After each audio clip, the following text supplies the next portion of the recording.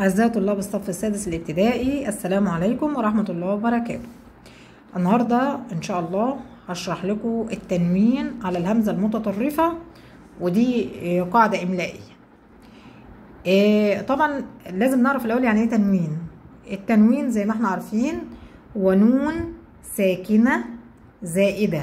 نون على سكون زايدة. بتيجي في آخر الاسم وأنا بقول الاسم لأنها ما بتجيش لا في الحرف ولا في الفعل. بتلحق آخر الاسم. بس نطق مش كتابة. يعني بنطقها بس ما بكتبهاش. يبقى التنوين نون ساكنة زائدة تأتي في آخر الاسم أو تلحق آخر الاسم نطقا لا كتابة. وعندنا تنوين بالضمة وفي تنوين بالفتحة وفي تنوين بالكسرة. طيب آه، التنوين بالفتحة بيظهر على الحرف الأخير من الكلمة. تنوين بالفتح. يظهر على الحرف الأخير من الكلمة وبيضاف بعده ألف زائدة. بنحط معاه ألف زايدة. التنوين بالفتح بالتحديد بيتحط معاه ألف زايدة. آه زي مثلا لما أقول كلمة مثلا آه متحمس فلما أعمل لها تنوين بالفتح بقول متحمسا. أروح طالع بعد السين بألف كده وأحط عليها الإيه؟ بحط عليها التنوين. لكن الألف اللي بطلع بيها دي في حالات ما ينفعش أطلع بالألف. في حالات ما ينفعش فيها أطلع بالألف. لا بحط التنوين على آخر حرف موجود قدامي على طول. طب إيه هي الحالات دي؟ هقول لكم عليها بس لما نشوف الت- التدريب الأول ده أو المربع الأول ده. أك أو الجدول ده. أكمل الجدول بكتابة الكلمات الآتية منونة كالمثال. مديني كلمة ناجح. فمديها لي مرة بالتنوين بالضم ناجح ومرة بالفتح ناجحا ومرة بالكسر ناجح وعايزني أعمل زيه شجرة. شجرة شجرة شجرة. متحمس متحمس متحمسا متحمس معلمة معلمة معلمة معلمة. أنا جبتها بإيه بالتنوين بأنواع التنوين الثلاثة وطبعا أنا عرفت لكم التنوين وقلت لكم في التنوين بالفتحة. بنطلع بألف مع التنوين لكن في حالات ما بنطلعش بالألف ده. ودي الحتة المهمة بقى والتركة يعني اللي هم عايزينكم تعرفوها آه، هنا بيقول برضو خلي بالك إن التنوين لا يأتي مع الكلمات التي تبدأ بأل زي التنوين ما بيجيش آه، في في الفعل وما بيجيش في الحرف كمان ما بيجيش في الكلمة لو بدأت بأل اللي هي للتعريف. يعني ممكن أقول فصلا أو فصل بس لو زودت أل وقلت الفصل يبقى ما ينفعش أحط تنوين في الكلمة دي بقى خالص. تمام. اقرأ ولاحظ الكلمات بين الأقواس في الجمل الآتية اقرأ ولاحظ الكلمات بين الأقواس في الجمل الآتية ثم أجب زارت الأسرة شاطئا رائعا. يصنع حيوان المحار لؤلؤا طبيعيا. أنهيت جزءا كبيرا من المشروع. وأنتم ملاحظين كل الكلمات اللي معايا دي؟ آه، منونة بالفتح. ولو أنتم ملاحظين برضو إن أنا طلعت بألف. مع التنوين طلعت بألف وطلعت بألف وطلعت بألف مع التنوين. تمام؟ جزءا آه، جريئا طلعت بألف مع التنوين. تعالوا نبص في الجنب التاني. هيبقى فيه تنوين بالفتح بس مش هطلع بألف. قرأ الأب قرأ الأب نبأ هاما في الجريدة. شايفين كلمة نبأ فيها تنوين بالفتح زي شيطان ولؤلؤ لكن حطيت التنوين على الهمزة اللي على الألف في الآخر ما طلعتش بألف تاني. يرتكب الكسول خطأ زي نبأ برضو هي برضو همزة في الآخر همزة على ألف. حط عليها التنوين على طول. يمنح يمنح الشباب البلاد عطاء. لو أنتم ملاحظين دي همزة على الألف في الآخر لكن دي ألف مد وبعديه همزة على السطر. ألف مد بعد همزة على السطر. عملت معاها نفس الحركة حطيت التنوين بالفتحة على الهمزة ما طلعتش بألف وزي عطاء كلمة مساء. يبقى أنا ما بطلعش بالألف لما تكون الكلمة منتهية بهمزة محطوطة على ألف بحط التنوين على طول. ما بطلعش بألف مع تنوين الفتح. زي نبأ وخطأ. وكمان لما تكون الكلمة منتهية بهمزة قبلها ألف مد. دي ألف مد. برضو بحط التنوين بالفتح على الهمزة على طول ما بطلعش بألف. ركز أوي في الحتة اللي زي دي. عشان هتجيني في صوب في الامتحان. الكلمات الملونة جاءت منونة بالفتح والكسر والضم. تمام؟ الكلمات الملونة هو بيديني اختيارات وأنا هختار. يا ترى كانت ملونة بالفتح ولا بالكسر ولا بالضم؟ كلها ملونة بالفتح سواء دي أو دي. اخترت الفتح. الكلمات الملونة كلها بقى. همزتها جت في الأول ولا همزتها في النص؟ الوسط يعني ولا همزتها في الآخر؟ لا كلها همزتها في الآخر لما اخترت الآخر. في آخر الكلمات ولذلك تسمى الهمزة اللي في الآخر دي بنسميها همزة. متوسطة ولا متطرفة؟ لا متطرفة لأنها جاية في الطرف. أو متوسطه دي لو جاية في وسط الكلمة. طيب لم تكتب ألف التنوين في الكلمات الملونة في المجموعة ب؟ مجموعة ب. إيه لم تكتب ألف التنوين اللي هو الألف اللي بنطلع بيه مع التنوين بالفتح. قصده كده الألف اللي بنطلعه مع التنوين بالفتح. زي حفل حفلا. زودت ألف أهو مع اللام في الآخر. في الكلمات دي ما زودناش الألف ده. ماشي؟ لأن الهمزة فوق الألف الهمزة فوق الألف في إيه بقى؟ عايزنا نكتب. في نبأ وخطأ. كانت فوق الألف أهي. وكذلك لم تكتب ألف اللي هي الألف اللي مع التنوين بالفتح في كلمة عطاء ومساء. ليه بقى؟ لأن ما ينفعش الهمزة تقع بين ألفين ما ينفعش يبقى في ألف وأروح أنا حاطط كمان ألف. لا كده هتتخنق مش هتقدر تاخد نفسها خالص. تمام؟ يبقى حرام كده لازم أهولها الدنيا شوية فمش هنحط ألف كمان. كفاية عليها الألف اللي سدد عليها من قدام فهنحط لها الإيه؟ هنحط لها التنوين عليها هي على طول مش هنوقعها بين ألفين اتنين حتى لا تقع الهمزة بين ألفين. تمام؟ بنستنتج إيه من الكلام ده بقى؟ إن ألف التنوين بالفتح التنوين بالألف لما بيجي مع التنوين بالفتح لما بيجي مع ألف. الألف ده اهي ما بنكتبهاش إمتى؟ لو كانت الهمزة وكانت الكلمة اللي معايا فيها همزة متطرفة على الألف. يعني فيها همزة والهمزة جاية على الألف كده في الطرف بتاعها في ألف وعليه همزة المختصر يعني. ألف عليه همزة. لو أنا لقيت الكلمة منتهية بألف عليه همزة زي كده بحط التنوين على الايه؟ على الالف اللي عليه همزة على طول. ما بطلعش بألف كمان. تمام؟ طيب. إمتى برضو ما بكتبش الالف دي؟ لما تكون الكلمة منتهية بهمزة برضو متطرفة همزة اهي بس قبل منها في ألف مد. ألف مد. فقلت ما ينفعش أحط كمان ألف عشان ما أخنقهاش. تمام؟ يبقى كفايه عليها الألف الأولاني. يبقى أحط برضو الايه؟ أحط التنوين بالفتح على الهمزة على طول. مش لازم نرسم بعدها إيه؟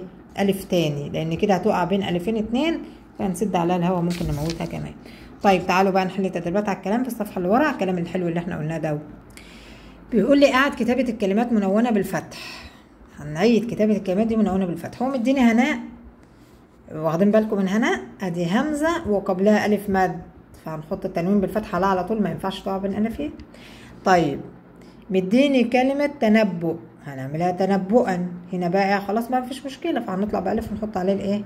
ونحط عليه التنوين بالفتح. آه كلمة جزاء أنا قلت لما يبقى فيه الهمزة وبقى قبلها ألف مش هينفع نوقعها بين ألفين اتنين فأروح عاملاها بالشكل ده. آه كلمة منشأ هتبقى برضه أنا قلت لما الكلمة تكون مختتمة أو منتهية بألف عليه همزة بنحط عليها التنوين على طول ما بعملش ألف كمان. آه مديني كلمة بدء أنا بدءا مفيش مشكلة إن أنا أطلع بالألف بقى لأن مفيش ألف قبليه. هنا مش هتقع بين الفين فاحط لها ألف واحط عليها إيه أحط عليه التنوين بالفتح. ليه بقى؟ لأن مفيش ألف قدامه. فخلاص حط لها ألف. لجوء. برضو نفس الكلام لجوءا لأن مفيش ألف قبلها. هي حرف مد آه بس واو مش ألف. آه مبتدأ. إحنا قلنا الكلمة لما تنتهي بألف عليها همزة برضو ما بين إيه ما بنحطش ألف التنوين. بنحط الهمزة بنحط التنوين على الهمزة على طول. تكافؤ. برضو نفس الحكاية مفيش مشكلة هنا هطلع مفيش مانع إن أنا أطلع بالألف وأحط عليه إيه التنوين مضيء مضيئا. في الحالة اللي زي دي بيقول لي لما الكلمة تكون منتهية بهمزة على السطر. همزة على السطر أهي. وما بعدها يمكن أن يتصل بما قبلها. إزاي يعني؟ مش فاهم. يعني أنا لو طلعت لو حطيت الهمزة على نبرة شايفينها محطوطة على على سنة مش على إيه يعني؟ وبعدين أطلع بالألف التنوين فأنا عادي ممكن أوصل الألف بالياء. الياء ده أروح موصل فيها ألف كده وأحط الهمزة على سنة زي كده. ده اسمه يمكن اتصال ما بعدها بما قبلها. ممكن أوصل الألف بالياء عادي مفيش مشكلة. وزيها كمان كلمة دافئ دافئا. ممكن أوصل الألف بالياء مش هتقول لأ. وزي شيء شيئا. وزي قارئ قارئا. وزي عبء عبئا. تمام؟ طيب في حالات ما ينفعش إن أنا أوصل ال- الألف دي بالحرف اللي إيه؟ بالحرف اللي قبله. مش هينفع. طيب هناخد عليها أمثلة الحالات دي كمان. طيب آه جبت لكم أنا مثال بقى عن ال- ال- الكلمة تكون منتهية بهمزة على السطر ولا يمكن أن تتصل يتصل ما بعدها بما قبلها زي مثلا ضوء. ضوء. ماشي؟ أنا بكتب بصعوبة طبعا عشان ماسكه التليفون ضوء لو أنا حبيت أنون الكلمة دي بالفتح خلي بالكم. مش هعمل زي إيه؟ زي مضيء. ليه؟ مضيء أنا لو طلعت بالألف ممكن اتصله باليه أو تتصل الكلمة كلها ببعضها وأحط الهمزة إيه؟ على نبرة زي ما إحنا شايفين. إنما ضوء أهو أنا هوصل الواو الواو بالألف إزاي؟ هي الواو لو أنا طلعت بألف يعني لو أنا جبت الألف كده. أحط الهمزة على نبرة زي مش هينفع اكتبها شبه دي لأن الواو ما بيتوصلش فيها حاجة من الجنب دوت. بترفصه. اللي بترفص فيها لو تر... بترفص الحروف اللي الناحية دي بتوصل بقى من الناحية دي بس. علشان كده لو ضوءا حبيت أنونها بالفتح لازم أطلع بألف وأحط عليه إيه؟ واحط عليه التنوين زي ما إحنا شايفين كده. فما تم... ما بتعملش معاملة مضيء ضوء غير مضيء. ركزوا في الكلمتين دول بقى. مضيء بوصل الشبط الكلمة كلها ببعضها زي ما أنتم شايفين وبطلع بالإيه؟ بالتنوين بالفتحة إنما ضوء مش هينفع. أنا شا... أنا هشبط الألف في الواو إزاي؟ الألف بترفض ما ينفعش. لو أنا شبطت فيها حاجة من هنا تروح رفصها على طول تصيرها. فأعمل إيه؟ فأروح كاتباها بالمنظر ده بقى عشان تمشي معايا. تمام؟ طيب وعندي كلمة عبء اتكتب كده. ده بي... ده ممكن يتوصل بلا عادة مفيش مشكلة. وعندي كلمة نبأ. أنا قلت إن أنا الكلمة لما بتنتهي بألف عليها همزة بحط تنوين عليها على طول ما بطلعش بألف تاني. وأنا قلت كمان لما الكلمة بتنتهي بهمزة آه زي ما إحنا شايفين على السطر قبلها ألف مد ما ينفعش وأنا بحط التنوين أحط ألف تاني عشان ما تقعش بين ألفين. وعندي كلمة بطء هكتبها بطئا لأن ممكن أن تتصل ألف بالطاء الطاء ما بترفضش بقى الطاء بايه بيتوصل بقى أي حاجة ما بتقولش لأ. طب تعالوا ناخد التدريب اللي بعد كده. اقرأ الجمل الآتية. هنقرأ الجمل. وبعدين هنعيد كتابتها تاني بس بعد ما نشيل ال من الكلمات اللي متلونة دي. هنشيل منها ال. إيه بقى؟ لأن إحنا هنونها والتنوين ما ينفعش يجي في كلمة فيها ال. نركز بقى. رأى أحمد الشاطئ من بعيد. فعايز ينونها فهيشيل منها ال. فيقول لي رأى أحمد شاطئا من بعيد. ف... فأنا لما جيت أكتب شاطئا منونة بالفتح شايفين أنا عملت إزاي؟ الطه زي ما أنا لسه قايلة زي زي مثلا كلمة بطء كده مع الاختلاف طبعا إن الطه ممكن تتصل بالألف بتاعة التنوين بالفتح. فكتبنا الهمزة على نبرة رحنا طالعين بالألف وحطينا عليها التنوين شاطئا. فبقى منظرها كده. هي مش معترضة. الطاء ما بتعترضش إن في أي حرف يمسك بعدها. عادي مفيش مشكلة. مش زي الواو. الواو لا ما بتحبش. آه مش زي الدال. الدال برضو ما بتحبش حد يمسك فيها كده من الديل بتزهق. آه ولا الزين ولا الراء. كل الحروف دي بترفص على طول. اللي يمسك فيها ما إيه ما ترضاش حد يمسك فيها خالص من الجنب دوت. طيب المثال التاني بيقول لي تابع المشاهدون الضوء في السماء. أنا لسه شارحه بقى الضوء. تمام؟ أنا قلت اهي قبلها إيه؟ حرف ما بيحبش حد يمسك فيه من هنا يا جماعة. تمام؟ فعلشان كده أنا لما ألونها هطلع لها بألف وأحط عليها الإيه؟ وأحط عليها التنوين بتاعها بقى عادي. تابع المشاهدون ضوءا. أنا حتى لسه شارحه لكم كاتباها لكم إيه؟ تمام؟ ضوءا في السماء. طيب شرب محسن الماء من الصنبور.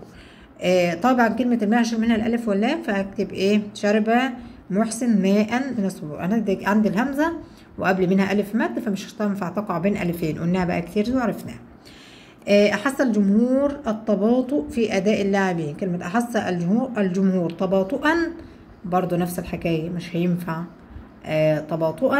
الواو مش هت... ما بتحبش تمسك حد فيها من ورا. فلذلك هنكتب الايه هنكتب التنوين زي ما إحنا شايفين بالشكل ده وهتفضل الهمزه على الايه على الواو. في اداء اللاعبين تباطؤا بطلع بألف واحط عليه التنوين. إيه اكتشف التلميذ الخطأ في كتابته. خطأ على طول كلمة بتنتهي بألف عليها همزة. بحط عليها التنوين على طول ما بطلعش بألف تاني. تمام؟ خطا. تمام كده. حدد الخطأ في الجمل الآتية وصوبه مبينا السبب. شايفين كلمة آه شكرا. كاتبها إزاي؟ شكرا. فين يا عم الحاج الألف اللي أنا أحط عليه التنوين بالفتح؟ شكرا للأبطال الذين يدافعون عن الوطن. شكرا بتتكتب كده ما بتتكتبش كده. لازم أطلع بالألف أحط عليه التنوين. ليه؟ لأن تنوين بالفتح. حط له ألف بقى أحط عليه التنوين. طيب يدخل التلاميذ الفصل بهدوء. شوف بهدوء. معظمنا بقى لما بنتملى بنعمل التنوين بنكتبه نون. طب يا ميس أنا بغلط. أنا مش عارف أعمل إيه علشان أخلص من المشكلة دي. أنا هقول لك ببساطة خالص. أنا لما أقول لك بهدوء حاول أنت تشيل النون مع نفسك. لو حاولنا نشيل النون هنقول إيه؟ بهدوء بهدوء. طيب هل الكلمة اتأثرت؟ باظت معاك؟ حصل لها مشكلة؟ لا فضلت هدوء زي ما هي. تبقى دي تنوين مش نون أصلي. طيب لو أنا حبيت مثلا أجيب كلمة آخرها بقى نون أصلية. وحبيت أجرب إن أنا أشيل منها النون. حبيت أشيل منها النون. تعالوا نجرب كده نشوف هتنفع ولا لأ. زي كلمة مثلا إيه؟ الوطن دي. هقول وطن. تعالوا نشوف وأنا بمليك. هقول لك الوطن أو وطن. عشان ميبقاش فيها ألف ولام فهتعرف إن الألف ولام ما- يجيش مع تنوين. وطن. أنا مش عارف وطن ده تنوين ولا نون. حاول تشيلها مع نفسك. فهتقول وط. إيه ده؟ بعد ما كانت وطن. أخليها وط. أنا ده قلبناه إنجليزي. يبقى ما ينفعش. طالما إن أنا شلت النون واختل معنى الكلمة يبقى دي نون اصليه مش تنوين. أنا شلت النون وما اختلش معنى الكلمة تبقى دي تنوين. تمام؟ دي حاجة سهلة خالص. تعرف بقى التنوين من إيه؟ من النون الأصلي. طب بعد كده بنقول يدخل التلاميذ الفصل بهدوء بهدوء وهو كاتب التنوين نون وده خطأ طبعا فأنا هعمله له إيه؟ تنوين. لأن التنوين هو نون ساكنة زائدة تنطق ولا تكتب. أنت كاتبها لنا ليه اعمل حاجة تنطق ولا تكتب. ولا تكتب. طيب آه التقى التلميذ برفيقيه التقى التلميذ يا سلام التلميذ. جايب لي التنوين مع كلمة فيها ال. ينفع؟ إحنا لسه قايلين إن الكلمة لما بيبقى فيها ال ما ينفعش يجي فيها تنوين. يبقى أقول التقى التلميذ التلميذ. لأن التنوين وال عمرهم ما يجتمعوا في كلمة واحدة. لا يأتي التنوين مع ال مع اسم فيه ال هي ال التعريف. ما بيحبوش بعض خالص. تمام؟ يبقى ما يجوش مع بعض. آه كده بيقول لي جايب لي فقرة بقى وبيقول لي اقرأها وحل عليها. الكسل حالة تتميز بيعرفك الكسل بقى عشان تعرف لما تبقى كسلان. تتميز بعدم الرغبة في القيام بالأعمال. ماليش نفسي أعمل حاجة. أو المهام التي تتطلب أداء أو تركيز. ماليش نفسي أركز مش قادر. ويعتبر الكسل سلوكا سلبيا. أكيد طبعا بس مش عارف أعمل إيه. فهو يؤثر في الإنتاجية. هتجيب إنتاج إزاي وأنت أساسا إنسان كسلان؟ ويترتب عليه تأجيل الأعمال. أجل أجل ما أنت كسلان. وتراكمها. واجبات تتراكم عليك دروس تتراكم عليك ما بتذاكرش يا بليد لأنك كسلان. مما يؤدي إلى توتر زائد. الله بقى عندي دروس كتير ما ذاكرتهاش؟ أذاكرها إزاي يا ماما. خلاص كده هتتوتر. توتر هتوترني معاك. يؤدي إلى توتر زائد وضغط نفسي. خلاص اتضغطت نفسيا بقى. مش هعرف أعمل أي حاجة. هتشل. وللتخلص من الكسل أقول له والنبي أتخلص منه إزاي؟ يمكنك أن تحدد أهدافك. عشان تتخلص من الكسل تعرف أهدافك إيه. أنت عايز تعمل إيه؟ طيب أنا عايز أعمل كذا وكذا وكذا وكذا. في حاجات كتير عايز أعملها. مش قادر. لا رتب بقى. أعمل أولويات. أنت عندك خمس حاجات عايزين يتعملوا. إيه الأهم حاجة فيهم؟ اكتبها الأول. واللي أقل أهمية خليها التانية. اللي أقل التالتة. اللي أقل الاقل لحد ما تلاقي نفسك حطيت اللي مش مهم قوي في الآخر. رتب أولوياتك. عندي درس بكرة. رياضة. يبقى ذاكر الرياضة الأول. لأن العربي لسه مثلا قدامه يومين. تمام؟ رتب أولوياتك وهكذا في كل الأشياء. وتضع خطة واضحة بدءا من اليوم. حط لك خطة واضحة. من النهاردة حط إيه هدفك إيه؟ ابدأ. أنا هدفي كذا وكذا وكذا وكذا ابدأ رتبهم بقى. الأهم فالمهم تمام. تعالوا بقى نشوف الأسئلة. استخرج من الفقرة اللي إحنا قرأناها دي ما يأتي. ثلاث كلمات منونة تنوين مختلف. يعني مرة بالضم ومرة بالفتح ومرة بالكسر. حالة تمام؟ حالة. أهي. طيب كلمة منونة بالفتح أداء. كلمة منونة بالكسر. توتر. أهي. ماشي؟ أهو. مش مألفينهم جايبينهم من هنا بعد كده بيقول لي هات برضو استخرج كلمتين منتهيتين بهمزة متطرفة. متطرفة مش متطرفة اللي في دماغنا يعني. لا متطرفة يعني جاية في الآخر. متطرفة منونة بالفتح. هات كلمتين منتهيتين بهمزة متطرفة فيها تنوين بالفتح. أداء وبدءا موجودين عندكم المصحف أهو. مش مألفينهم موجودين هنا في القطع. تمام؟ أنت دور عليهم وهاتهم أنت بقى. أنا طلعتهم لك وأنت شوفهم بقى. وبين سبب رسم ألف التنوين في إحداهما وحذفه في الأخرى. ليه في واحدة منهم رسمنا ألف حطينا عليها تنوين. وليه في واحدة حطينا تنوين على الهمزة على طول. عارفين ليه؟ لأن أنا قلت ما ينفعش تقع الهمزة بين ألفين هتتخنق هتتشل. تمام؟ لا يبقى أطلع أحط لها الإيه؟ أحط لها تنوين عليها على طول. إنما هنا ينفع ليه؟ لأن مفيش قبلها همزه بقى خلاص. هي قبلها حرف ساكن بس ما هوش قصدي ألف. قبلها حرف ساكن بدءا. لكن الحرف الساكن مش ألف مد. عشان كده إيه؟ مفيش مشكلة مش هتتزنق. يبقى أطلع بألف وأحط عليه التنوين. تمام؟ يبقى رسمت ألف التنوين. في بدءا لأن الهمزة ليس قبلها ألف مد. أما في كلمة أداء فلم ترسم ألف التنوين لأن الهمزة قبلها ألف مد ولا يجوز أن تقع الهمزة بين ألفين. تمام؟ تمام. خلصنا الفيديو. وخلصنا الدرس بتاع التنوين. هنعمل بقى في فيديو تاني. نصوص الاستماع المتحررة عشان ما تزهقوش مني وأنا أزهق منكم. ذاكروا الدرس ده كويس. الدرس ده مهم بتاع التنوين مهم جدا جدا جدا. والتنوين بالفتح وركزوا فيه وبعدين حطوا لايك للفيديو واشتركوا في القناة وفعلوا الجرس عشان توصل لكم كل الفيديوهات اللي إحنا بننزلها. أول بأول على الإيه؟ على التليفون بتاعك. فما تحسش إن أنت بتتراكم عليك الأعمال وما تكسلش. يلا أشوفكم في فيديو آخر. السلام عليكم ورحمة الله وبركاته.